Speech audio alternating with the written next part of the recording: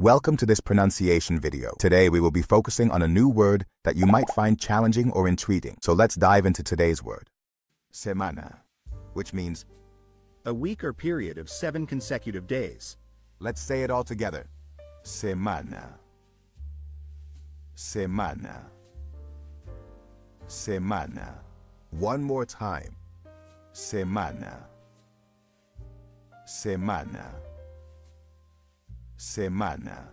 Thank you for joining us on this adventure in pronunciation. Remember, language is a journey, not a destination. Keep exploring, experimenting, and expanding your linguistic horizons. We'll see you next time.